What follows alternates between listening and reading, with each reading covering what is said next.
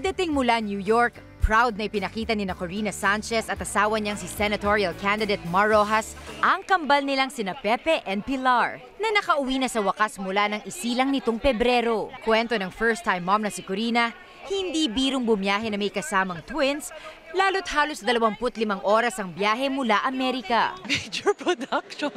Talagang ah, a double stroller, bassinets in the plane. You have to declare the milk, tapos kailangan ng car seat. So, yeah, major production pero nakaraos naman kasi mababait. Natin natin kung magbiyahe kami, syempre may hand carry ka na kung ano ng mga gadgets na nabili mo.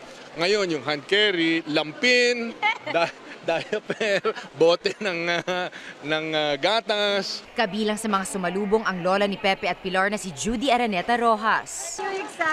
Of course. Of Sabi ni Corina, hindi lang nickname ang pangalan ni na Pepe and Pilar. It's part of their real four or five names before the surname. Ngayong balik bansa na, mas magiging tutok pa rin si Corina sa pag-aalaga ng kambal. Hindi na rin daw papatulan ni Corina ang mga bashers na walang magandang masabi sa kanyang mga anak.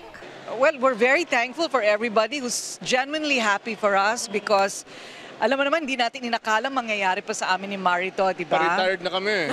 So, so, senior citizen na kami. So, biglang ah, tatay, biglang lolo, lola. Yan ang magpapahaba sa buhay naming dalawa.